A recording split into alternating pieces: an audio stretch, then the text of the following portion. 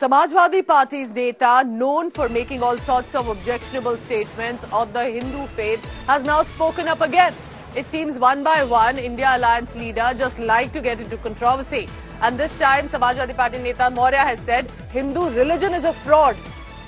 So he's called the whole religion as a fraud. This Samajwadi Party Neta has said Hindu religion is a business for some. And that Hindu religion is not even a religion. सब पूरा कर देते हैं।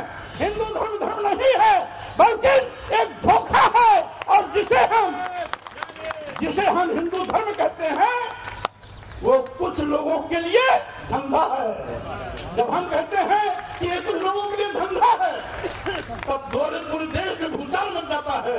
लेकिन वही चीज़, अगर मोहन भागवत जी कहते हैं, माननीय प्रधानमंत्री नरेंद्र मोदी जी कहते हैं, माननीय गडकरी जी कहते हैं तो किसी की भी भावना आहत नहीं होती The viewer must know this is not the first time that the SP Neta has made such a comment. I remember earlier he had given a comment on the goddess Lakshmi too that had led to a lot of outrage and Akhilesh Yadav was asked to clarify on that. Abhishek Mishra is now joining me from Lucknow.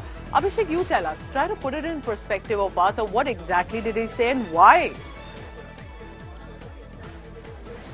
Well, Pooja, this is not the first time when Swami Prasad Maurya has said something about the Hindu religion. Time and again, he has been constantly targeting the community, the mythological references, you know, remark on goddess Lakshmi, speaking about uh, the Hindu dharma, even about Ram Temple and other so.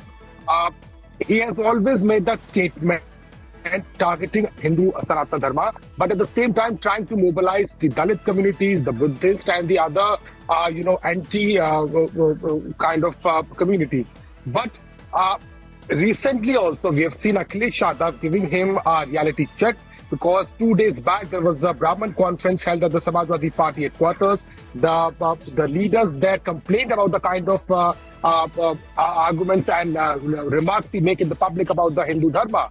But even after that, again yesterday he made that uh, statement. It's a clear indication that he's not going to stop, and Akhilesh Yadav will have to take a serious call constantly making remarks on Hindu Dharma, on uh, on the deities, and at the same time trying to politicize the issue has become his his, has become his habit. And uh, time and again he has spoken so far, but uh, it looks like that uh, uh, Samajwadi Party is indeed on a PDA formula, but he's also very keen on getting the forward class with them because that is going to be only deciding factor. But with such remarks and such controversies are going to uh, harm the party, and Everything is right now to be seen. uh, surrounded about election specifically. So, you know, at this point, it, it may not matter if when Udayanidhi Stalin calls the Sanatan Dharma as a, a disease needs to be eradicated, but for someone saying that in a state like Uttar Pradesh, how will it affect the India Alliance and the Samajwadi Party? Perhaps something that Akhilesh Yadav needs to deliberate upon. Uh, we expect the Bharatiya Janata Party will expectedly jump on this and we'll be tracking the latest on that.